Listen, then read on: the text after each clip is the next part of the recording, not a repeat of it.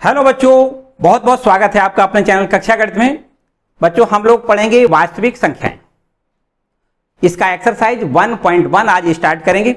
इससे पहले वाले वीडियो में हमने आपको यूक्लिड विभाजन प्रमेय का आपको पढ़ाया है। यूक्लिड विभाजन प्रमेय का क्या है? मेरे ख्याल से आज बताने की हमें ज़रूरत नहीं है। अगर आप थोड़ा पीछे वाले वीडियो पर चले जाएँ, अगर आपने अब तक यूक्लिड विभाजन प्रमेय का नहीं पढ़ा है तो तो आपको केवल और केवल एक काम करना है भैया, आई बटन दबा दें या पीछे वाली वीडियो पर चले जाएँ और डिस्क्रिप्शन में लिंक दिया गया, उसको प्रेस करके भी जा सकते हो और पीछे वाली वीडियो से आप यूक्लिड विभाजन प्रमेय कंप्लीट ज़रूर कर लें। ठीक है? और आज यहाँ पर बिल्कुल स्टार्ट से 1.1 एक्सरसाइज को कंप्लीट करेंगे। यूक्लिड विभाजन प्रमेयिका का प्रयोग करके हम दो संख्याओं का एचसीएफ कैसे याद कर सकते हैं? दो संख्याओं का या दो से अधिक मतलब तीन संख्याओं का भी हम एचसीएफ यूक्लिड विभाजन प्रमेयिका से कर सकते हैं। तो यहाँ पर हमें बस इसी का उपयोग करके इस एक्सरसाइज को कंप्लीट करना ठीक है?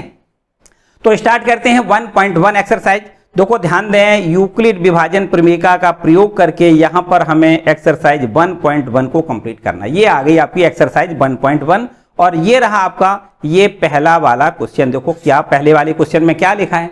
यहाँ पर देखो, हमने जैसा कि बताया कि यूक्लिड विभाजन प्रमेयिका का प्रयोग करके दो संख्याओं का एचसीएफ ज्ञात करना, ये आपका यूक्लिड विभाजन प्रमेयिका का बहुत ही बड़ा अनुप्रयोग है। ठीक है? तो इसका हम देखो, प्रयोग करेंगे और ये आपका यहाँ पर देखो लिखा है, पहले प्रश्न में, निम्नलिखित संख्याओं, देखो क्या लिखा हुआ है, निम्नलिखित संख्याओं का एचसीएफ ज्ञात करना। क्या करना है? एचसीएफ ज्ञात करना और कैसे करना है? आगे लिखा है यूक्लिड विभाजन एल्गोरिज्म का एल्गोरिज्म का मतलब समझ रहे हो? यूक्लिड विभाजन प्रमेका का प्रयोग करना है उसके एल्गोरिज्म एल्गोरिज्म का मतलब होता है चरण बाई चरण प्रक्रिया से किसी भी किसी भी समस्या का निदान करना, एल्गोरिज्म कहलाता है ना? तो यहाँ समस्या क्या है? दो आपको संख्याएँ दी गई हैं। उन संख्याओं का चरण बाई चरण तरीके से हमें हल करना है यूक्लिड विभाजन प्रमेका का प्रयोग करके और फिर हमें आंसर की ओर बढ़ना है मतलब एचसीएफ याद करना है। इतना काम करना है तो हम ये जो प्रोसेस है, उसको एल्गोरिज्म कहेंगे। ठीक है? तो एल्गोरिज्म से और कुछ मतलब नहीं है। तो यहाँ पर हमें 135 देखो पहला प्रश्न में दिया गया है 135 और 225 का एससीएफ याद करना 135 225 का एससीएफ याद करना है। देखिए कैसे करोगे? ये आपका देखो, हम, ये आपका एक्सरसाइज हो गया 1.1 और इसमें आपका जो पहला प्रश्न है और पहले का भी हम पहला कह सकते हैं। देखो, दो संख्याएँ जो दी गई हैं, वो कौन कौन सी हैं 135 225 है ना? 135 135 और ये है आपका 225 बस इन दोनों संख्याओं का एचसीएफ याद करना है। बहुत आसान से काम करना है। कतई किसी प्रकार की कोई समस्या नहीं एक अगर आपने सवाल समझ लिया, समझो, सारे आसान से हो जाएँगे, कोई परेशानी वाली बात नहीं है। इसमें आपको क्या करना है? इसमें आपके पास एक संख्या देखो दिखाई दे रही है। ये आपकी 225 संख्या है। ये संख्या बड़ी है काय से? 135 से तो इसमें जो बड़ी संख्या, उसको आप भाज्य मानोगे। बड़ी संख्या को भाज्य मानोगे मतलब भाज्य का मतलब क्या होता है? ए से डिनोट करते हैं भाज्य को। और ये छोटी संख्या है, ये भाजक है, इसको हम बी से डिनोट करते हैं। यही तो प्रोसेस है। अब क्या करते हैं? देखो तो यूक्लिड विभाजन प्रमेय का इन दोनों पे लगाएँ तो ऐसे करते हैं। देखो तो कैसे पहला स्टेप हम ऐसे बनाएँगे। देखो, बनाने का पहले, पहला स्टेप कैसे बनाएँगे, वो समझें। आपको क्या करना है? 225 में भाग देना है। 225 में काई से भाग देना है 135 से भाग देना है, ये देखिए। ठीक है ना? अब भाग तो देखो, निश्चित रूप से आपको दिखाई दे रहा होगा, भैया एक ही बार जाएगा ना? एक बार भाग दे देते हैं और यहाँ लिख लेते हैं 135 और इसके बाद यहाँ घटा देते हैं तो ये ज़ीरो हो जाएगा और ये आपका कितना हो जाएगा? 12 में से तीन घटेगा, नौ बचेगा। ठीक है? अब अब देखो, एक स्टेप आपका यहाँ पर हम बना के दिखा देते हैं। यहीं बना के दिखा देते हैं आपको। ये लिखा हुआ है 225 यूक्लिड विभाजन प्रमेय का होता क्या है? आपको पता ही है, देखो, ये होता है ए बराबर बी क्यू प्लस आर यही तो होता है। ए माने क्या है? ये है, होता है भाज्य। ये क्या है? भाज्य। और भाज्य बराबर ये होता है, देखो बी क्या होता है? बी को क्या कहते हैं? भाजक। ये आपका क्या है? ये है आपका भाजक, है ना? भाजक। और गुणे ये है भागफल भागफल और भागफल के बाद प्लस कर दें और फिर यहाँ पर लिख दें शेष फल ये आपका यूक्लिड विभाजन प्रमेय का है, समझो। कुछ नहीं है, एकदम आसान काम है। देखो, ये आपका, ये जो, ये वाला, ये क्या कहलाएगा? ये क्यों क्या कहलाएगा? भागफल और ये आर जो है ना, ये ये आपका शेषफल कहलाता यही इतनी बात तो है। यूक्लिड विभाजन प्रमेयिका में और कुछ नहीं। तो आपको क्या करना है? तो इस यूक्लिड विभाजन प्रमेयिका के फॉर्म में लिखना है तो ए बराबर ए कितना है? 225 बी बी है आपका 135 देखो, है ना? 135 लिख दें। और बी क्यू क्यू बराबर कितना है? एक लिख दें। और प्लस आर आर की वैल्यू हम यहाँ नब्बे लिख देते हैं। ये आपके पास देखो ए बराबर बी क्यू प्लस आर का एक स्टेप हो गया ना कंप्लीट हमने बताया एल्गोरिज्म अपनाना है, चरण बाई चरण प्रक्रिया करना है तो ये आपका पहला चरण कंप्लीट होता है। इसके बाद अब क्या करना है? देखिए अब आपको देखो क्या करना है, ये आपका 135 जो लिखा है ना, ये इसको आप भाज्य मान लें। और ये आपका, ये भाजक हो जाएगा। मतलब क्योंकि 135 ये बड़ी संख्या है, और ये 90 आपकी छोटी संख्या है, ये आपका भाजक हो जाएगी। फिर से दोबारा से देखो, हम यही यही प्रक्रिया करेंगे। कौन सी? भाग वाली प्रक्रिया। तो आपको क्या करना है 135 और यहाँ पर देखो 90 से भाग कर दें। तो 90 से हम भाग करेंगे 135 में तो आपके एक ही बार देखो ये भी जाएगा। तो यहाँ पर 90 लिख दें और घटा दें। तो ये बचेगा देखो कितना? पाँच। और ये आपका तेरह में से नौ घटेगा तो चार बचेगा है ना? तो ये चार। यहाँ पर देखो एक दू, दूसरा स्टेप यहीं बना के लिख देते हैं। यहाँ पर बिल्कुल वही काम करना है। 135 बराबर 90 गुणा एक प्लस में लिख दें 45 बोलो भाई यहाँ पर दो स्टेप समझ में आ गई। दो स्टेप क्लियर हो गए। इसके बाद अब आपको फिर वही काम करना है। ये क्रिया तब तक दोहरानी है जब तक कि शेष फल शून्य ना आ जाए। ठीक है? बस शून्य शेष फल आ गया, समझो हमारा एस निकल आया। वो अभी बताएँगे। देखो, अब क्या करना है आपको? ये 90 और 45 फिर फिर से दोबारा से यूक्लिड विभाजन प्रमेयिका लगाना है। 90 और 90 और कौन सा है ये? 45 45 ये चूँकि 90 संख्या बड़ी है, देखो 45 छोटी है। इस पर यूक्लिड विभाजन प्रमेयिका दोबारा से लगा दें। यूक्लिड विभाजन प्रमेयिका से, है ना? प्रमेयिका से। तो देखो यहाँ पर फिर से लगाओगे तो वही काम करना है, ये आपका 90 तो हो गया, देखो भाज्य, है ना? और भाजक आपका हो जाएगा, ये 45 अब देना है भाग, देखो कितना 90 दूनी सॉरी 45 दूनी 90 हो जाएगा। और यहाँ पर देखिए, जब घटाओगे तो शेषफल देखो ज़ीरो हो जाएगा। एकदम बढ़िया हो गया ना? हमने बताया, ये प्रक्रिया आपको तब तक दोहरानी है जब तक शेषफल ज़ीरो ना हो जाए। तो अगर हम इसका देखो ये तीसरा स्टेप बनाएँ तो इस प्रकार लिख सकते हैं, नब्बे बराबर पैंतालीस पैंतालीस गुणा में दो और प्लस में देखो ये शेषफल ज़ीरो आ गया। तो जो अंतिम भाजक है, देखो ये 45 है ना अंतिम भाजक, ये 45 है, देखो ये वाला। ये जो 45 है, वो आपका अंतिम भाजक है, ये वाला, ये देखो। तो इसीलिए इसको हम क्या कहेंगे, यही हमारा एस हो जाएगा। क्या होगा ये? एस बस यही हो जाएगा, आपको लिखना है एच सी एफ़ बराबर में 45 जो आपका अंतिम भाजक होगा, अंतिम स्टेप में जो भाजक होगा, ऐसे समझो आप। है ना? जो चरण आपका अंतिम होगा, उस अंतिम चरण का जो भाजक है, वही एस कहलाएगा। इतनी सी बात है, बस और कुछ अधिक आपको पढ़ना नहीं है। इतना ही पढ़ना है, ठीक है? देखिए, दूसरा एक और क्वेश्चन हम करके दिखा देते हैं आपको। दूसरा प्रश्न क्या है इसका? देखिए, दूसरे प्रश्न में क्या कहा गया? ये देखिए, इसको समझें। लिखा है, एक सौ छियानवे और अड़तीस दो सौ बीस। एक सौ छियानवे, अड़तीस दो सौ बीस, है ना? एक सौ छियानवे और लिखा है, अड़तीस दो सौ बीस। ये लिखा हुआ है एक सौ छियानवे, एक सौ छियानवे, और ये है अड़तीस, कितना है अड़तीस, दो सौ बीस। फिर से एक बार देख लें, भाई गलती ना हो जाए। अड़तीस, दो सौ बीस, बिल्कुल ठीक है। इसमें देखो, अब क्या करना है? अड़तीस, दो सौ बीस, ये बड़ी संख्या है। एक सौ छियानवे, छोटी संख्या है। तो आपको क्या करना है? इसको भाज मानना है। किसको भाज मानना है? बड़ी वाली संख्या को। तो भाज बराबर तो आपका ये हो जाएगा अड़तीस, दो सौ बीस। और ये आपका भाजक हो जाएगा, जो छोटी संख्या है। भाजक बराबर कितना हो जाएगा? आपको एक लिखना है। अब अब आपको भाग देना है, फिर इसके बाद में वही सूत्र लगाना है, भाज्य बराबर मतलब ए बराबर बी क्यू प्लस आर यही तो है ना? ए बराबर, मानी भाज्य बराबर, भाजक गुणे भाग फल प्लस शेष फल इतनी सी बात है, बस। यहाँ पर अब आपको देखो क्या करना है, वही भाग वाली प्रक्रिया करनी है, मानी आपको एक सौ छियानवे से भाग करना है। एक सौ छियानवे से और ये है आपका अड़तीस दो सौ बीस में भाग करना ठीक है? चलो भाई, करके दिखाओ। ये आपका देखो एक सौ छियानवे लिखा है, ये तीन सौ बयासी लिखा है, एक ही बार जाएगा भाई, ज़्यादा जाएगा नहीं। तो एक बार भाग दे देते हैं, एक सौ छियानवे लिख दें और यहाँ घटा दें तो ये आपका बारह में से छह घटेगा तो छह बचेगा, है ना? और ये आपका सात मानी हो जाएगा, सत्रह सत्रह में से नौ घटेगी तो आठ बच जाएगा, ठीक है? और ये दो में से एक घटेगा तो एक बचेगा तो एक सौ छियासी हो गया, ठीक है? अब ये आपको क्या करना है? आगे दो का, ये देखो, दो का अंक यहाँ से लिख दें, दो लिख दें।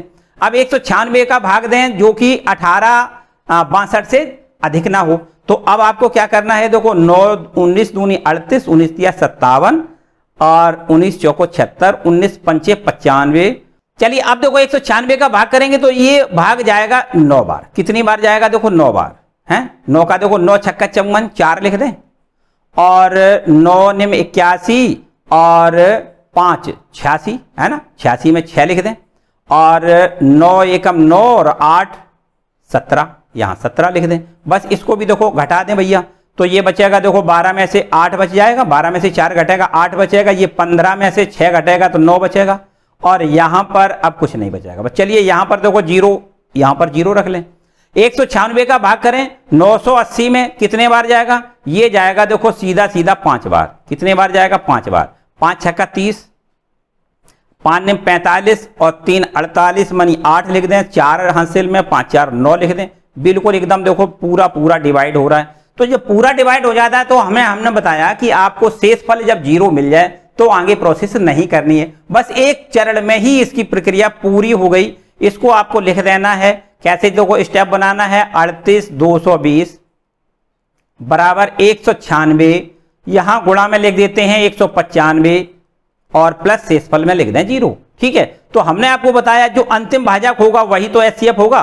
तो यहाँ पर देखिए अंतिम भाजक क्या है? ये अंतिम भाजक एक सौ छियानवे है। तो ये आपका देखो एक सौ छियानवे है, ये ही एस कहलाएगा। क्या कहलाएगा? एच सी एफ़ तो एस सी एफ़ बराबर आपको लिखना है एक सौ छियानवे। ये आपका आंसर हो गया। ठीक है? एक ही स्टेप में काम खत्म। जब भी कभी शेषफल शून्य होता है, वहीं पर आपको फिर स्टेप आगे बढ़ाना ही नहीं है, क्योंकि काम खत्म होता है वहीं से। तो अब आते हैं क्वेश्चन नंबर इसका। देखो, तीसरा पार्ट मेरे ख्याल से हम आपके लिए छोड़ दें क्या? कर सकते हो, ये तो आप, है ना? ये तीसरा पार्ट आप स्वयं करेंगे ठीक? आपके लिए होमवर्क मैंने कह दिया। कर सकते हो। आराम से करें। यदि किसी प्रकार की कोई समस्या लगे तो मुझे कमेंट ज़रूर कर ठीक है? तो हम अगले वाले वीडियो में इसका भी हल कर रहा मतलब ऐसा नहीं है कि आपको अगर नहीं आता है तो हम छोड़ देंगे, ऐसा नहीं। अगर आपको नहीं आ रहा है तो कमेंट करके मुझे ज़रूर बताएँगे, ठीक है? तो उसके हम बाद में आपका सॉल्यूशन भेज देंगे। तो चलिए अब बढ़ते हैं क्वेश्चन नंबर सेकेंड पर आ जाए। दूसरा प्रश्न, क्या कह रहा है? देखिए, लिखा है, दर्शाइए कि कोई भी धनात्मक विषम पूर्णांक छह क्यू प्लस वन छह क्यू प्लस तीन या छह क्यू प्लस पाँच के रूप का होता है जहाँ क्यू कोई पूर्णांक है। क्या लिखा है? क्यू कोई पूर्णांक है? देखो, एकदम आसान काम है। लिखा है दिखाइए दिखाइए या दर्शाइए, एक ही बात है कि कोई भी धनात्मक विषम पूर्णांक, कोई भी धनात्मक विषम पूर्णांक जो होता है, वो विषम पूर्णांक हमेशा छह क्यू प्लस वन के रूप का होता है, या छह क्यू प्लस तीन के रूप का होता है, या छह क्यू प्लस पाँच के रूप का होता है। ये आपको प्रूव करके दिखाना है। बिल्कुल आसान काम है। देखो, यहाँ पर यूक्लिड विभाजन प्रमेयिका का, यहाँ भी हमें प्रयोग करना है यूक्लिड विभाजन प्रमेयिका का। देखो, कैसे प्रयोग करोगे? क्वेश्चन नंबर देखो सेकंड है आपके पास। यहाँ पर हम लिख देते हैं प्रश्न नंबर दूसरा। यूक्लिड विभाजन प्रमेयिका का प्रयोग करके हमें ऐसा दिखाना है। देखो, ध्यान दें, यहाँ लिख देते हैं यूक्लिड यूक्लिड विभाजन प्रमेयिका से। यूक्लिड विभाजन प्रमेयिका से आप जानते हैं कि a बराबर होता है बी क्यू प्लस आर यही तो यूक्लिड विभाजन प्रमेयिका है। इसमें आप ये भी जानते हो कि जो r होता है वो कहाँ से कहाँ तक? Zero is less than equal to r is less than b ये पोजीशन होती है आर की। है ना? यही तो है। तो अब आपको देखो तो यहाँ पर आपको क्या करना है? यहाँ पर b बराबर छह मान लेते हैं। B बराबर छह रख दें। क्या लिख दें? B बराबर छह। ठीक? अगर b बराबर छह रख दें तो हमें इस प्रकार से a बराबर मिल जाएगा छ क्यू प्लस आर बोलो, ठीक है? एक बात बताओ भाई, अगर b की वैल्यू छ है तो बताओ r की वैल्यू कितनी होगी? यहाँ से देखिए, यहाँ से बताएँ आप। R की वैल्यू कितनी होगी? R ज़ीरो हो सकता है, r एक हो सकता है, r दो हो सकता है। R का मान तीन हो सकता है, r का मान चार हो सकता है, r का मान पाँच हो सकता है, लेकिन छह नहीं। छह से कम होना चाहिए। देखो, ये क्या लिखा है? बी से कम और बी बराबर छह तो छह से कम कितना होगा? पाँच होगा। ठीक? एकदम ठीक है। तो आर बराबर आपको लिखना है zero, one, two, three, four और या फाइव। इतना, ठीक है? आर का ये मान हो सकता है। तो यहाँ पर आपको सबसे पहले क्या करना है? आर बराबर ज़ीरो रखने पर। आर बराबर अगर ज़ीरो रख दें तो ए की वैल्यू हमें कितनी मिल जाएगी? छह क्यू प्लस आर की वैल्यू ज़ीरो मिल जाएगी। तो अब आप हमें यह बताओ कि ये संख्या ए जो है ए बराबर छह क्यू मिला है तो ये छह क्यू संख्या सम है या विषम है? तो बिल्कुल निश्चित रूप से आप कह सकते हो, भैया, ये तो सम है। कितनी है? सम। दो से डिवाइड हो जाएगी ना? दो से जो डिवाइड होती है, वो सभी संख्या सम होती है। अब आर बराबर हम अगर एक मान लें आर बराबर एक रख दें तो आर बराबर एक रखने पर ए की वैल्यू हमें कितनी मिलेगी? ए की वैल्यू मिल जाएगी छह क्यू प्लस वन कितनी मिलेगी? छह क्यू प्लस वन अब बताओ, अगर छह क्यू संख्या सम है, अगर छह क्यू संख्या सम है तो छह क्यू प्लस वन संख्या कैसी होगी? सम में अगर हम एक जोड़ दें, विषम हो जाएगी सीधी सीधी तो इसको हम विषम लिख सकते हैं। क्या लिख सकते हैं? विषम लिख सकते हैं। बोलो, ये विषम हो गई या नहीं हो गई? हो गई ना? ये तो विषम हो गई। अब ये बताओ भाई, आर बराबर हम, आर बराबर हम दो रख देते हैं। आर बराबर दो रखने पर देखो क्या मिलेगा? एक ही वैल्यू हमें मिल जाएगी छह क्यू प्लस दो। ठीक? अब आप ये देखो, छह क्यू प्लस वन, ये वाली संख्या कैसी है? विषम है। अगर विषम संख्या में एक और जोड़ दिया तो छह क्यू प्लस दो हो गया मतलब ये तो सम हो गया। तो यहाँ पर अब आपको लिखना है सम। ये संख्या देखो, छह क्यू प्लस दो संख्या है, वो कैसी संख्या हो गई? छह क्यू प्लस दो, सम संख्या हो गई, है ना? इसके बाद आगे और थोड़ा आगे देखो। अब आपको क्या करना है? आर बराबर तीन लिखना है। यहाँ लिख देते हैं आर बराबर तीन रखने पर। अब जब आर का मान तीन लिखोगे तो एक ही वैल्यू हमें मिलेगी। छह क्यू प्लस आर का मान तीन लिख दें। ठीक है? तो अब बताओ, छह क्यू प्लस तीन संख्या कैसी है? भैया, फिर विषम हो गई है तो। छह क्यू प्लस तीन संख्या कैसी हो गई विषम? या ऐसे भी कह सकते हो कि भाई, अगर ये संख्या दो से डिवाइड नहीं होती है तो विषम है। दो से डिवाइड हो जाए तो सम है। तो यहाँ पर छह क्यू प्लस तीन संख्या दो से डिवाइड नहीं होगी, इसलिए ये संख्या हम विषम कहेंगे। ठीक है ना? दोबारा से, फिर से देखो, वही काम करना है आर बराबर चार रख दें। तो आर बराबर चार अगर रखते हैं तो एक ही वैल्यू हमें कितनी मिल जाएगी? छह क्यू प्लस आर का मान चार रख दें तो ये हो जाएगा छह क्यू प्लस चार। अब छह क्यू प्लस चार संख्या तो बिल्कुल एकदम सीधा सीधा दिख रही है कि सम है, क्योंकि ये दो से डिवाइड हो जाएगी, है ना? तो ये फिर सम हो गई। अब बताओ भाई आर बराबर पाँच रख दें। आर बराबर कितना रख दें? आर बराबर पाँच रखने पर। तो जब आर का मान हम पाँच रख दें तो ए की वैल्यू हमें कितनी मिल जाएगी? ए बराबर हो जाएगा छह क्यू प्लस आर का मान पाँच रख दें। ठीक है ना? आर बराबर पाँच रख दें। तो अब छह क्यू प्लस पाँच कैसी हो गई? देखो, फिर भी सम हो गई, क्योंकि ये दो से डिवाइड नहीं हो रही तो ये फिर भी सम हो गई। अब अब आप ये देखो, प्रश्न में हमसे क्या पूछा गया है कि कोई भी धनात्मक विषम जो पूर्णांक है, वो छह क्यू प्लस वन के रूप का हो सकता है। देखिए, ध्यान दें, हमसे प्रश्न में यह कहा गया है कि कोई भी धनात्मक विषम पूर्णांक है, देखो, ध्यान दें, विषम पूर्णांक हैं कौन कौन से? देखो, एक तो ये विषम हो गया। देखो, विषम हो गया या नहीं हो गया? छह क्यू प्लस वन ये विषम है या नहीं? है ना? ये भी विषम है, देखो ध्यान दें। फिर इसके बाद में विषम कौन सा है? देखो, ये भैया विषम है, ये क्या है? ये भी तो विषम है। ये विषम है ना? छह क्यू प्लस तीन, ये भी तो विषम है। और फिर इसके बाद में छह क्यू प्लस पाँच देखो भाई, ये भी विषम है। है ना विषम? तो इसका मतलब यह है कि कोई भी धनात्मक विषम पूर्णांक जो होता है, वो किस किस रूप का हो सकता है? वो आपका हो सकता है छह क्यू प्लस वन के रूप का हो सकता है। वो आपका छह क्यू प्लस तीन के रूप का हो सकता है। अदरवाइज़ वो छह क्यू प्लस पाँच के रूप का भी हो सकता है। कोई भी धनात्मक विषम पूर्णांक किन किन रूपों में हो सकता है? छह क्यू प्लस वन के रूप का हो सकता है, देखिए। या छह क्यू प्लस तीन के रूप का हो सकता है, या छह क्यू प्लस पाँच के रूप का हो सकता है। यही हमसे प्रश्न में पूछा गया है। तो आपको यहाँ पर आंसर में क्या लिखना है? अतः कोई भी धनात्मक विषम पूर्णांक, आपको यहाँ क्या लिखना है? अतः कोई धनात्मक विषम पूर्णांक, धनात्मक विषम पूर्णांक पूर्णांक छ क्यू प्लस छ क्यू प्लस एक को या या लिख दें। छ क्यू प्लस तीन या छ क्यू प्लस पाँच के रूप का हो सकता, के रूप में होगा। चलिए, यहाँ पर इतना ही लिख देते हैं। ठीक है? तो ये आपका कोई भी धनात्मक विषम पूर्णांक जो होता है, छह क्यू प्लस वन के रूप का हो सकता है, छह क्यू प्लस तीन के रूप का हो सकता है अदरवाइज़ छह क्यू प्लस पाँच के रूप का हो सकता है। कंप्लीट हो गया भैया? किसी को कोई डाउट अगर डाउट हो भैया कमेंट करके ज़रूर पूछे, ठीक है? तो अब बढ़ते हैं क्वेश्चन नंबर तीन के ऊपर आ जाओ। देखिए, तीसरा प्रश्न क्या है? ये है आपके पास क्वेश्चन नंबर तीन। ये देखिए, ये, है ना? क्या कहा है प्रश्न नंबर तीन में? बहुत आराम से समझें। तीसरे प्रश्न में आपसे देखो इबारत लिखी हुई है। यहाँ पर इबारत क्या लिखी है? किसी परेड में, देखिए ध्यान दें, किसी परेड में 616 सदस्यों वाली एक सेना आर्मी को, सेना आर्मी की टुकड़ी को, है ना, बत्तीस सदस्यों वाले एक आर्मी बैंड के पीछे मार्च करना है। क्या करना है?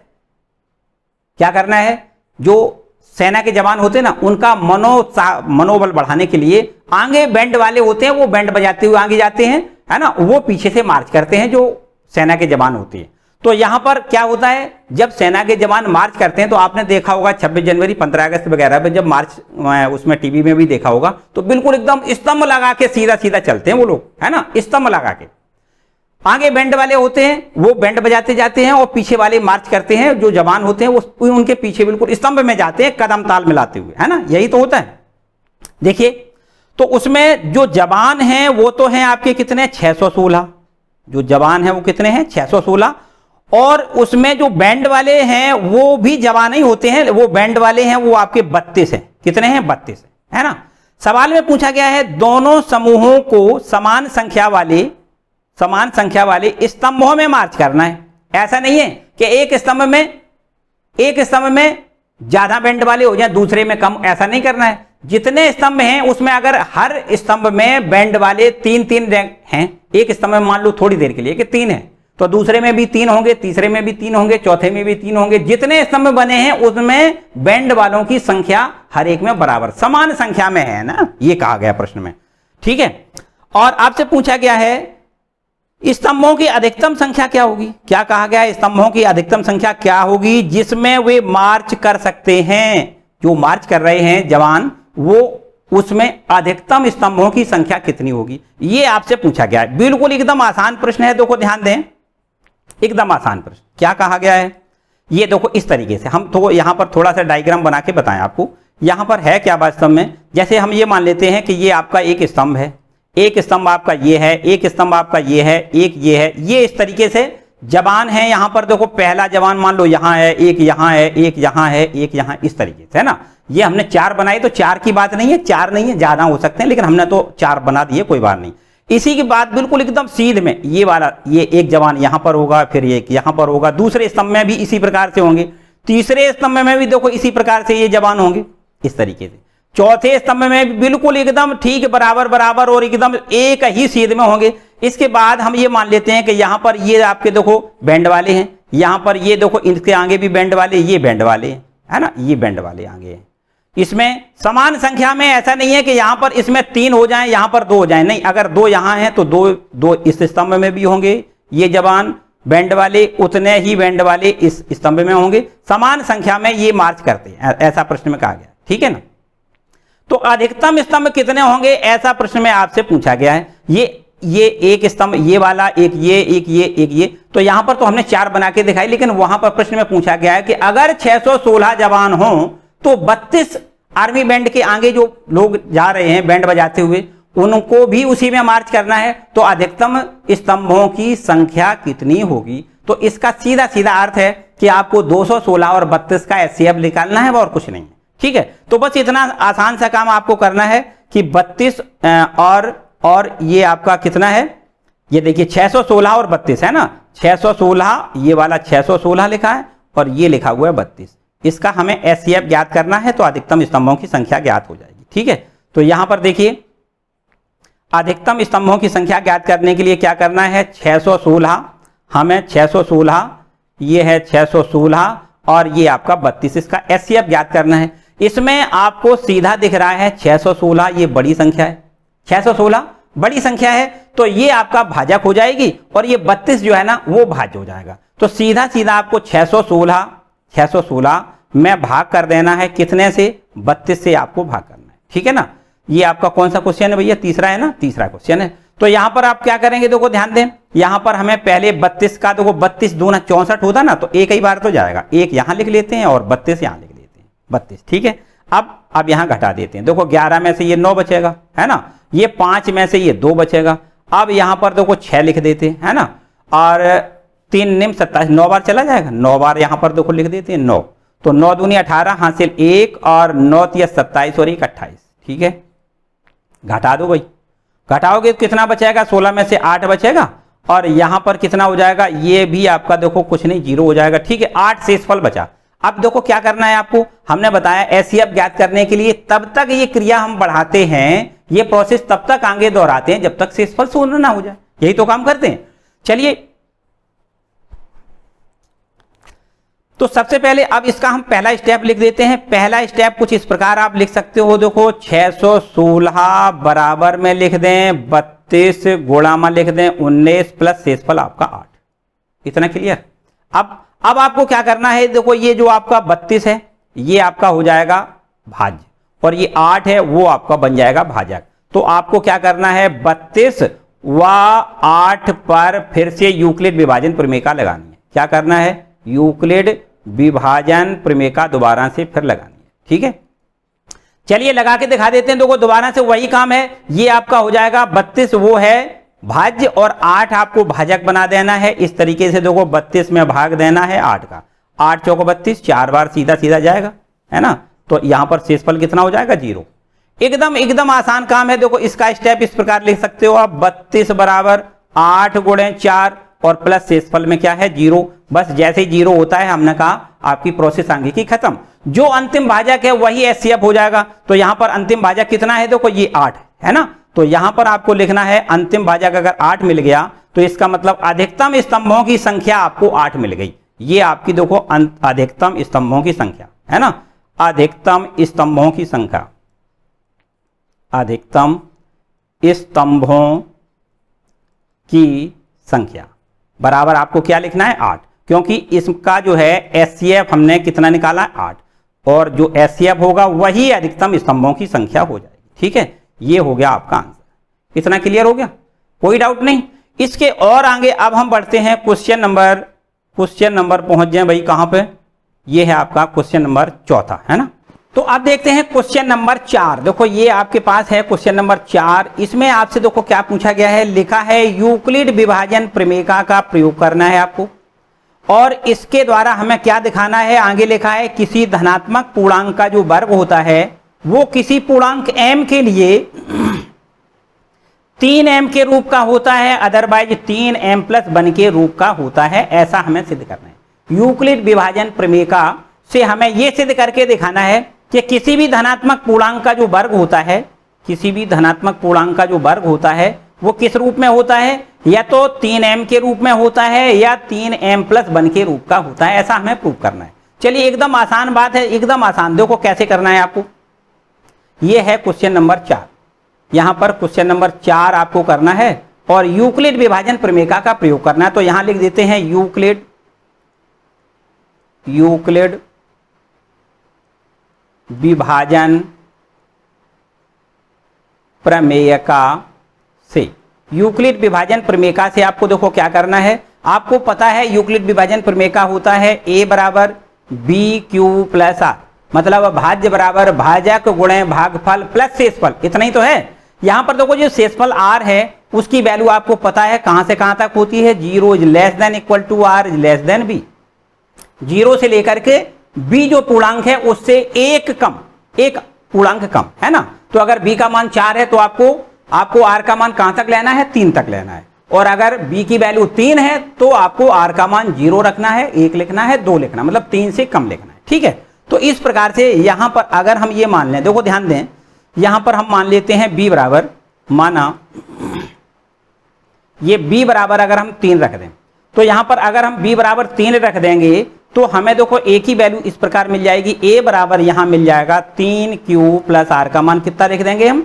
यहाँ पर आर ठीक है? और आर बराबर कितना हो जाएगा? देखो आर बराबर आपको लिखना है ज़ीरो क्योंकि हमने बताया आर की वैल्यू कितनी होगी? ज़ीरो से आगे लेकर के आपको चलना है। मतलब ज़ीरो होगा, एक हो सकता है, दो हो सकता है, तीन नहीं। आर का मान तीन नहीं हो सकता, क्योंकि हमने बताया कि आर का मान कितना होगा? बी से एक पूर्णांक कम ठीक है ना? तो बी बराबर तीन है, एक पूर्णांक कम करोगे तो दो तक रहेगा आपका। ये आर का मान रहेगा। ठीक है? अब आते हैं, देखो ए बराबर कितना हो जाएगा? यहाँ लिख दें आर बराबर ज़ीरो रखने पर। अगर हम आर का मान ज़ीरो रख दें तो हमें देखो ए का मान कितना मिलेगा? ए बराबर हो जाएगा तीन क्यू प्लस आर का मान कितना लिख देंगे? ज़ीरो ठीक है? अब आर का मान ज़ीरो लिख दिया तो हमें ए की वैल्यू अब कितनी मिल गई? तीन क्यू मिल गई भाई। मिल गई ना? अब जो ए मिला, उसका हम वर्ग करेंगे। किसी भी धनात्मक पूर्णांक का वर्ग हमें करना है, वो वर्ग करके ये देखना है कि उसका मान तीन एम के रूप का होता है, जहाँ एम कोई पूर्णांक यही तो बात सवाल में पूछी गई है। तो चलिए यहाँ पर वर्ग कर देते हैं। यहाँ लिख दें वर्ग करने पर। लिख देते हैं वर्ग करने पर। चलो वर्ग करो ए स्क्वायर हो जाएगा। इधर वर्ग करोगे तो तीन क्यू का स्क्वायर हो जाएगा, तीन क्यू का होल आप स्क्वायर लिख दें। और जब स्क्वायर इसका देखो तोड़ोगे तो आपको निश्चित रूप से नौ क्यू का स्क्वायर मिलेगा। और नौ क्यू स्क्वायर को हम लिख सकते हैं कितना? ये लिख सकते हैं तीन इंटू में तीन क्यू का स्क्वायर और तीन क्यू स्क्वायर बराबर अगर हम एम लिख दें तो तीन एम हो जाएगा ये। जहाँ पर देखो एम कितना हमने लिखा है? एम बराबर जो लिखा है वो आपका है कितना? तीन क्यू का स्क्वायर ये एम की वैल्यू है ना? एम बराबर तीन क्यू स्क्वायर तो ये देखिए हमने जो आपको अभी बताया कि किसी भी धनात्मक पूर्णांक का जो वर्ग होता है वो कितना होता है? देखो ये होता है तीन एम के रूप का. कितना होता है? किसी भी धनात्मक पूर्णांक का वर्ग. देखो ये है ए वर्ग मतलब धनात्मक पूर्णांक का जो वर्ग है, वो तीन एम के रूप का होता है. कंफर्म बात हो गई भाई? चलिए देखो, और इसके आगे थोड़ा और बढ़ेंगे, जब आर बराबर हम एक लें तो यहाँ पर अब देखो क्या करना है आपको। आर बराबर आपको आगे, ये देखो, यहाँ पर आ जाओ। अब यहाँ लिख देते हैं, दोबारा दूसरे बार में लिख दें आर बराबर कितना लिख दें? आर बराबर एक रखने पर। तो चलो आर का मान एक रख देते हैं तो आर का मान जब एक रखेंगे तो एक की वैल्यू हमें कितनी मिल जाएगी? तीन क्यू प्लस आर का मान एक लिख दें। तीन क्यू प्लस वन मिल जाएगा, है ना? तो जब आ, ए का मान तीन क्यू प्लस वन मिल गया अब हमें क्या करना है? अब इसका भी हमें वर्ग करना है क्योंकि किसी भी धनात्मक पूर्णांक का वर्ग हमें देखना है तीन एम के रूप का अथवा तीन एम प्लस वन के रूप का होता है। चलो यहाँ पर वर्ग कर देते हैं यहाँ लिख दें वर्ग करने पर। तो अगर हम वर्ग करेंगे तो ये तो ए स्क्वायर हो जाएगा बराबर। इधर तीन क्यू प्लस वन का हम स्क्वायर कर देते हैं। चलिए, कोई बात नहीं होल स्क्वायर इसका तोड़ोगे ए प्लस बी का होल स्क्वायर बराबर क्या होता है? A square plus b square plus two a b तो उसी फॉर्म से आपको तीन क्यू का पहले स्क्वायर करना है। यहाँ पर लिखना है नौ क्यू स्क्वायर प्लस अब एक का स्क्वायर तो एक ही मिलेगा। प्लस यहाँ पर तीन क्यू और एक दोनों का जब गुणा करोगे और उसका दूना करोगे तो आपको कितना मिलेगा? छह क्यू कितना मिल जाएगा? छह क्यू ठीक है? अब आपको देखो नौ क्यू स्क्वायर में से और ये आपका छह क्यू इन दोनों पदों से आपको तीन कॉमन ले लेना है। तीन कॉमन लेंगे तो तीन त्रिका नौ, ये आपका तीन क्यू स्क्वायर हो जाएगा। और प्लस का निशान लगाओ। तीन दूनी दो क्यू हो जाएगा, ये देखो। और प्लस वन आपका देखो, जिसमें से हमने एक में से कुछ कॉमन नहीं लिया तो आपको एक ये ज्यों का लिख देना है। आप बराबर में देखो, इसको ऐसे लिख सकते हो। तीन और इस पूरी संख्या को हम एम मान लेते हैं, और प्लस वन आपका ये ज्यों का त्यों एम हमने किसको मान लिया है? ये देखो, पूरी संख्या है, इसको हमने एम लिख दिया, ये आपका। ये पूरी संख्या, इसको हमने क्या लिख दिया? एम लिख दिया। ठीक है? इसको हम एम के रूप में हमने लिख दिया है। यहाँ पर लिख दें, जहाँ एम बराबर कितना है? यहाँ लिख देते हैं, जहाँ एम बराबर तीन क्यू स्क्वायर प्लस में दो क्यू दो क्यू ये आपका क्या है? एम की वैल्यू तो ये देखो, वही बात सिद्ध हो गई कि किसी भी धनात्मक पूर्णांक का जब वर्ग करते हैं तो किस रूप में होता है? ये देखिए, तीन क्यू प्लस वन के रूप का होता है। किस रूप में होता है? तीन क्यू प्लस वन के रूप का होता है। ठीक है ना? चलिए, इसके बाद देखो, और एक बात है, यहाँ पर अब आपको क्या करना है? यहाँ पर देखिए, आगे आपको थोड़ा और जगह बनाएँ।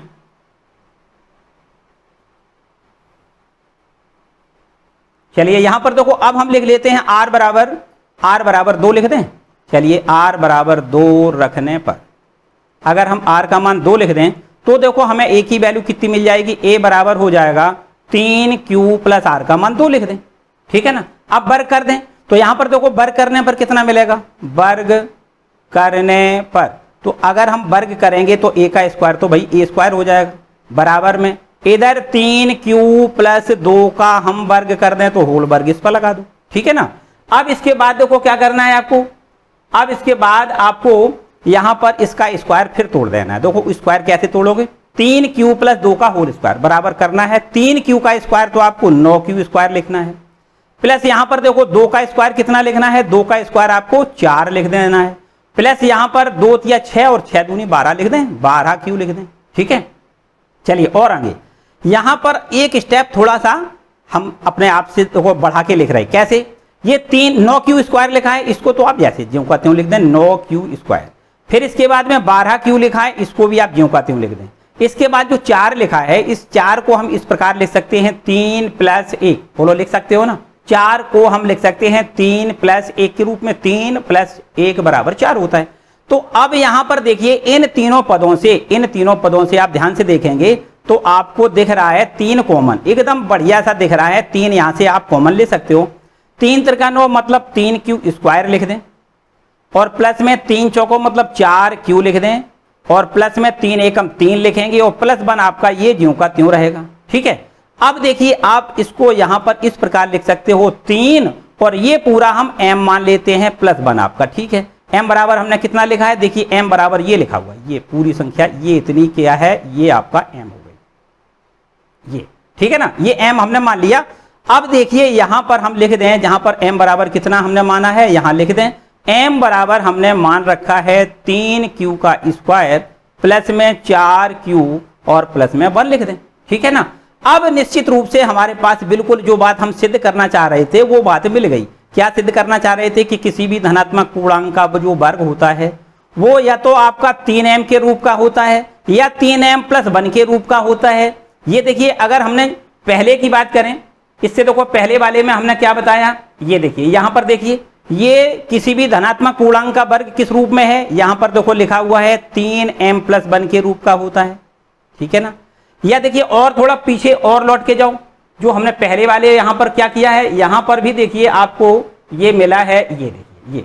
किसी भी धनात्मक पूर्णांक का वर्ग किस रूप में होता है? तीन एम के रूप में होता है। तो इसका मतलब हमने सिद्ध करके ये देख लिया कि जब हम किसी भी धनात्मक पूर्णांक का वर्ग करते हैं तो तीन एम के रूप का होता है, या ये कह सकते हैं तीन एम प्लस वन के रूप का हो सकता है, या हम ये कह सकते हैं कि ये आपका तीन एम प्लस वन के रूप का हो सकता है। ठीक है? तो इसका मतलब निश्चित हो गया कि अतः यहाँ लिख देते हैं, बिल्कुल एकदम शुद्ध हिंदी भाषा में लिख दें कि अतः किसी अतः किसी धनात्मक धनात्मक पूर्णांक का वर्ग, धनात्मक पूर्णांक का वर्ग, पूर्णांक का वर्ग तीन एम या या तीन एम प्लस वन के रूप का होता है, रूप का होता है। बोलो भाई, इसमें तो मेरे ख्याल से अब कतई समस्या कोई नहीं रही होगी, है ना? क्लियर हो गया एकदम? और अगर आप थोड़ा सा ध्यान दें तो बिल्कुल और बिल्कुल एकदम यही प्रश्न आपका क्वेश्चन नंबर पाँच पे लिखा हुआ है। थोड़ा सा अंतर है, देखो क्या लिखा है।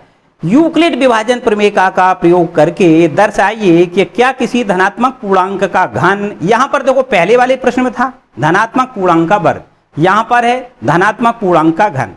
किस रूप का होता है? ये होता है नौ एम या नौ एम प्लस वन के रूप का या नौ एम प्लस आठ के रूप का होता है। ठीक है इतना हमें अब प्रूफ करके दिखाना है। चलिए बिल्कुल एकदम आसान काम है। अब आप, आपका ये प्रश्न जो आगे वाला है बिल्कुल एकदम आखिरी प्रश्न है। चलिए यहाँ पर लिख लेते हैं क्वेश्चन नंबर पाँच। पांचवा। देखो काम वही करना है। यूक्लिड विभाजन प्रमेयिका का प्रयोग करना है। यहाँ लिख दें यूक्लिड यूक्लिड विभाजन यूक्लिड विभाजन प्रमेयिका से यूक्लिड विभाजन प्रमेयिका से तो यूक्लिड विभाजन प्रमेका से क्या लिख सकते हो? आप लिख सकते हो ए बराबर b q plus r a बराबर बी क्यू प्लस आर जहाँ आर बराबर कितना होता है? आर की वैल्यू जो होती है वो कितनी होती है? आर की वैल्यू होती है zero is less than equal to r is less than b ठीक है ना? चलिए, यहाँ पर अगर हम बी बराबर बी बराबर हम तीन रख दें। कितना लिख दें? बी बराबर तीन रखने पर आपको क्या मिल जाएगा? ये एक ही वैल्यू हमें मिल जाएगी। देखो, तीन क्यू प्लस आर अब आर बराबर बताओ कितना होगा? यहाँ पर आर की वैल्यू हमें मिल जाएगी कितनी? ज़ीरो हो सकता है, एक हो सकता है या दो हो सकता है। ज़ीरो, वन टू ठीक है ना? तीन नहीं होगा। ठीक है? अब क्या करना है? देखो ए बराबर, ये आर बराबर आपको ज़ीरो रखना है। आर बराबर ज़ीरो रखने पर। जब आर की वैल्यू हम ज़ीरो लिखेंगे तो ए बराबर हमें कितना मिल जाएगा? तीन क्यू प्लस आर का वन ज़ीरो लिख दें तो हमें ये तीन क्यू मिल जाएगा। इतना काम हमने उसमें भी किया था, इसमें भी हमने वही काम किया है।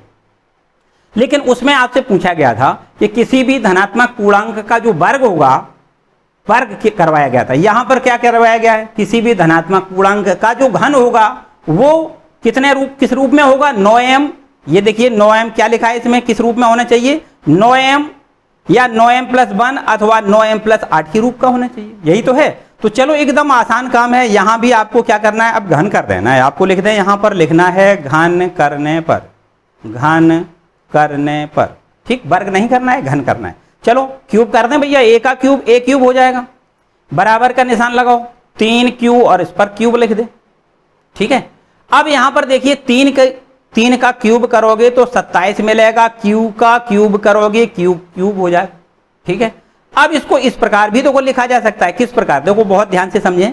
सत्ताईस को हम लिख सकते हैं, नौ तिया सत्ताईस। मतलब नौ गुणे तीन क्यू का क्यूब। ये इस तरीके। ठीक है? और यदि हम तीन क्यू के क्यूब को हम एम लिख दें तो ये हमारा इस प्रकार से बन जाएगा। देखो, नौ आपका ज्यू का त्यों, इसको एम लिख दें।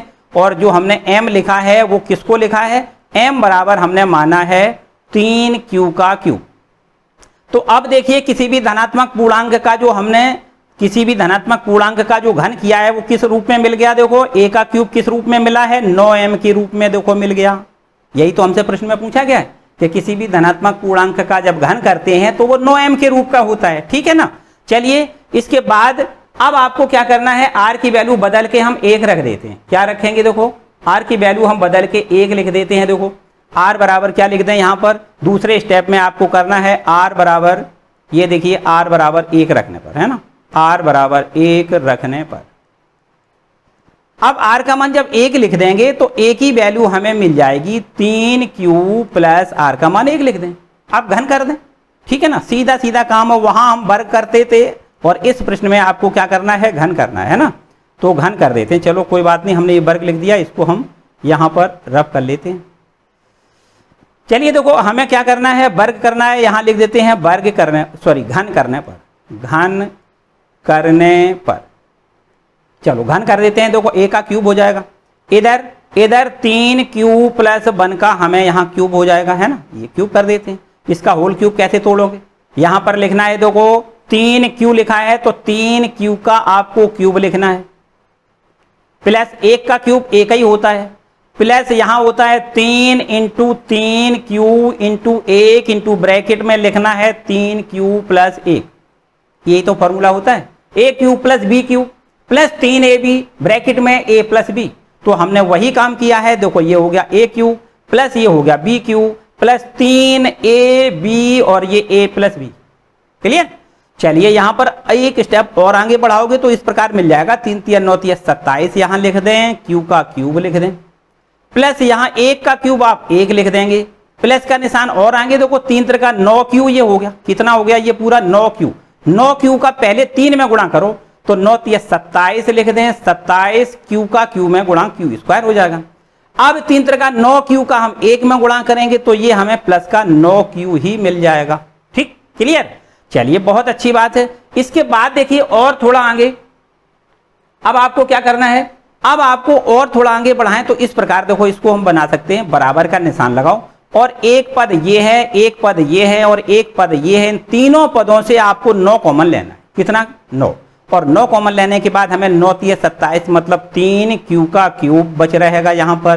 प्लस यहाँ पर देखिए, यहाँ भी आपको नौ तीय सत्ताईस मतलब तीन क्यू का स्क्वायर बचेगा। प्लस यहाँ पर नौ से नौ पूरा कैंसिल हो जाएगा तो क्यू बचेगा? और ब्रैकेट बंद कर दें। प्लस एक आपका, ये देखो जिसमें से हमने कॉमन नहीं लिया है, उस पद को ज्यों का त्यों प्लस एक बाद में लिख दिया हमने। अब देखिए, आप बहुत ध्यान से बराबर का निशान लगाते हैं। नौ आपको ज्यों का त्यों लिखना है। और ये पूरा जो हमने बताया, ये बात इसको हम क्या मान लेते हैं? इसी को हम एम मान लें। और प्लस वन आपका ये ज्यों का त्यों। तो आप देखो, किसी भी धनात्मक पूर्णांक का जब हमने घन किया तो किस रूप में मिल गया? नौ एम प्लस वन के रूप का देखो, ये मिल गया। किसी भी धनात्मक पूर्णांक का जब हमने घन किया है तो हमें किस रूप में मिलता है? नौ एम प्लस वन के रूप में मिलता है। ये देखिए, धनात्मक पूर्णांक का घन किस रूप में मिलता है? नौ एम प्लस वन के रूप में मिलता है। आपको लिखना है एम बराबर, देखो हमने कितना माना है, यहाँ लिख देते हैं एम बराबर। एम बराबर कितना? तीन क्यू का क्यूब लिखोगे प्लस तीन क्यू स्क्वायर लिखना है प्लस क्यू लिखना है। ठीक? इतना क्लियर होगा ठीक है? किसी को कोई डाउट एकदम क्लियर हो रहा होगा। अब इसके बाद में आपको क्या करना है? देखो आर बराबर दोबारा से, फिर आपको अब आर की वैल्यू दो लिख देनी कितना लिखना है आपको? आर की वैल्यू आपको अब दो लिख देनी है। देखो आर बराबर यहाँ लिख देते हैं आर बराबर दो रखने पर। आर बराबर दो रखने पर। चलिए आर का जब मान दो लिख देंगे तो हमें ए की वैल्यू कितनी मिल जाएगी? हमें तीन क्यू प्लस आर था ना तो आर को हम दो लिख देते हैं। ए बराबर तीन क्यू प्लस दो हो जाएगा। अब क्या करते हैं देखो, फिर वही काम करना है, घन करने पर। यहाँ लिख दें, घन करने पर। तो चलो, घन कर देते हैं। घर करने पर हमें ए का घन तो ए घन मिल जाएगा। मतलब ए क्यूब मिल जाएगा। इधर तीन क्यूब प्लस दो का हम घन कर दें। मतलब क्यूब लगा दें। ठीक है? इतना ठीक है? चलिए क्यूब यहाँ भी आपको बिल्कुल वही फॉर्मूले से तोड़ देना है। कैसे? यहाँ तीन क्यू लिखा है तो तीन क्यू का पहले हम क्यूब करेंगे। कितना लिखोगे? सत्ताईस क्यू का क्यूब लिख दें। प्लस यहाँ पर देखिए, ये दो का क्यूब करना है तो आपको क्या लिखना है? आठ लिखना है। फिर प्लस का निशान लगाएँ। फिर तीन लिखना है। इंटू में तीन क्यू लिखना है। इंटू में दो लिखना है। फिर ब्रैकेट में तीन क्यू प्लस दो लिखना है। यही तो करते हैं। ए का क्यूब प्लस बी का क्यूब प्लस तीन a b a plus b ठीक? चलिए, बहुत अच्छी बात है। और थोड़ा आगे बढ़ जाओ भाई। ये आपके पास लिखा है सत्ताईस इंटू क्यू का क्यूब फिर प्लस का निशान लगाएँ। चलिए आठ बाद में लिखते हैं। यहाँ पर देखिए, तीन और तीन का मल्टीपल तीन का नौ नौ दूनी अठारह क्यू हो गया। ये टोटल कितना हो गया? अठारह क्यू और अठारह क्यू का गुणा अगर हम तीन क्यू में करेंगे तो अठारह तिया चौवन। आपको लिखना है चौवन क्यू स्क्वायर क्यू का क्यू में गुणा क्यू स्क्वायर हो जाएगा। फिर इसके बाद प्लस का निशान आ जाओ। प्लस निशान। तीन का नौ नौ दूनी अठारह क्यू है ना ये पूरा कितना है? अठारह क्यू तो इस अठारह क्यू का गुणा अब दो में करना है तो अठारह दूनी छत्तीस और क्यू छत्तीस क्यू हो जाएगा, ठीक?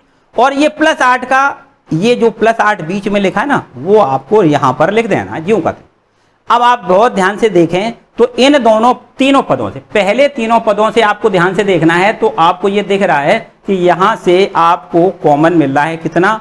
आपको नौ कॉमन मिल रहा है। चलिए, कोई बात नहीं, नौ को नौ तिया सत्ताईस, तीन क्यू का क्यूब लिख दें। फिर प्लस का निशान और नौ चौको छत्तीस होता है ना, चार बार भाग जाएगा और चार क्यू का स्क्वायर लिख दें। फिर प्लस का निशान लगाओ और नौ तिया नौ चौको छत्तीस होता है ना, चार बार जाएगा। चार क्यू लिख दें और फिर प्लस आठ आपका जू कर बोलो भाई, इतना क्लियर हो गया? ठीक है? अच्छा भाई, एकदम समझ में आ रहा होगा। देखो, अब जो आपने ब्रैकेट में लिखा हुआ है, इस पूरे ब्रैकेट वाली, इस पूरी राशि को हम एम मान लेते हैं तो ये हो जाएगा नौ एम प्लस आठ। ठीक है? ये देखिए, जो हमने आपको ये ब्रैकेट में लिखा हुआ ना, ये पूरा, ये इतना। तो इस पूरी संख्या को हमने क्या लिख दिया? एम इस पूरी संख्या को क्या लिख दिया हमने? एम लिख दिया, है ना? ये पूरा एम हो गया। तो अगर ये पूरा एम हो गया तो इसका मतलब ये आपका कौन सा रूप हो गया? ये आपका रूप हो गया नौ एम प्लस आठ के रूप का होता है। यही तो हमें सिद्ध करना था। तो यहाँ पर देखो m बराबर कितना है? यहाँ लिख दें, m बराबर आपको लिखना है तीन क्यू का क्यूब प्लस में लिख दें, चार क्यू स्क्वायर प्लस में लिखेंगे चार क्यू ठीक, ये है m की वैल्यू तो हमने सिद्ध करके ये देखा कि किसी भी धनात्मक पूर्णांक का जो घन होता है, वो किन किन रूपों में होता है? देखिए, सबसे पहले हमने क्या किया है? यहाँ पर आप देखें ध्यान से। यहाँ पर हमने सबसे पहले ये आपको जब r बराबर हमने ज़ीरो बनाई थी, क्या बनाया था? r बराबर ये देखो ज़ीरो लिखा था। तो किसी भी धनात्मक पूर्णांक का घन हमें देखो किस रूप में मिला था? ये नोएम के रूप में मिल गया था। फिर हमने देखो क्या किया? यहाँ पर किसी भी धनात्मक पूर्णांक का जब हमने घन किया तो हमें देखो यहाँ पर नौ एम प्लस वन के रूप का ये मिल गया। फिर हमने देखो यहाँ पर क्या किया? यहाँ पर जब आर बराबर हमने दो रख दिया तो हमें किसी भी धनात्मक पूर्णांक का घन करने पर देखो किस रूप में मिलता है? ये आपका देखो मिल गया। कितना भाई कितना भाई? देखो, आ जाओ आ जाओ आ जाओ आ जाओ। आ जाओ भाई। ये देखो किसी भी धनात्मक पूर्णांक का जब हमने घन किया है तो ये हमें नौ एम प्लस आठ के रूप में मिलता है। तो इसका मतलब निश्चित रूप से ये सिद्ध होता है कि किसी भी धनात्मक पूर्णांक का जब हम घन करते हैं तो वो घन किस रूप में मिलता है? यहाँ लिख दें, अतः किसी किसी धनात्मक, किसी भी धनात्मक पूर्णांक, किसी भी धनात्मक पूर्णांक का वर्ग का वर्ग नौ एम या नौ एम प्लस वन अथवा